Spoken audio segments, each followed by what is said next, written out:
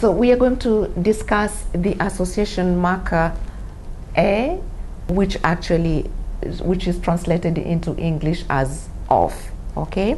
Now in Swahili, the forms such as the forms such as uh, wa, cha, la, vya, za, etc., you know, are all words in Swahili that actually in English would be translated as of, depending on the noun class that they modify.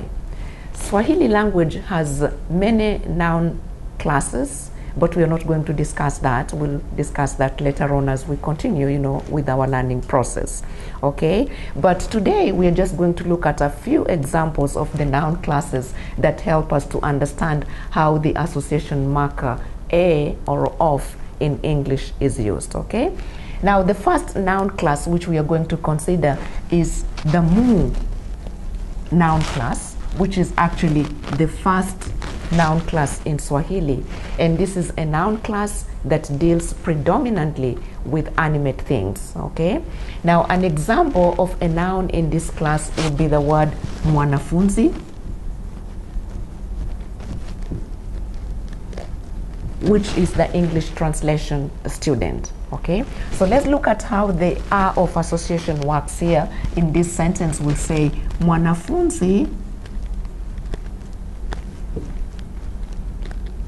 wa chuo cha Amherst. Okay. The translation of this sentence in English would be a student of Amherst College. Okay. Another example of a noun class would still be the mu noun class, and this is actually the third noun class in Swahili. And an example of the word that we want to use here would be mlima, which is the English translation mountain. Okay? And so, an example of a sentence helping us to appreciate the association marker A would be a sentence like mlima wa Kilimanjaro. Okay. The translation would be the mountain of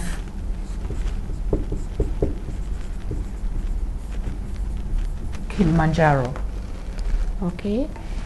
Another example of a noun class that uh, will help us to understand the marker aya would be the Swahili noun class, which is the fifth noun class.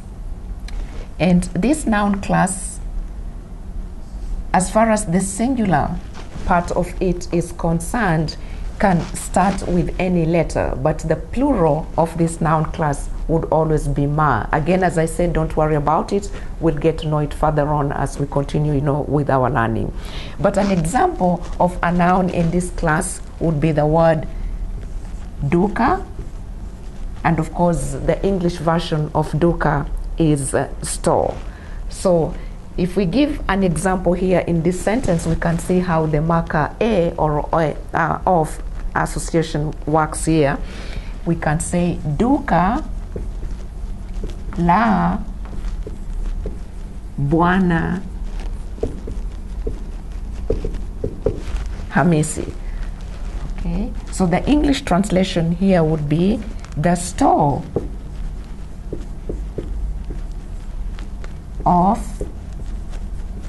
Mr. Hamisi. Right. Our last example of a noun class here would be the seventh noun class. Okay, and this one is the ki noun class, which is the seventh noun class, again, as I said in Swahili. And uh, a good example here that we can use is uh, college or chuo. Okay, so the Swahili word for college is chuo, and we can see in this sentence chuo cha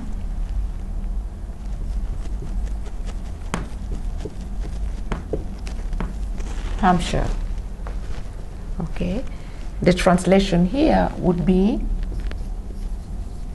the college of Hampshire. So you can therefore see in these examples how the marker A, which is the equivalent of English O, is used in the different noun classes in actually modifying, you know, the sentence so that we can understand it better. All right?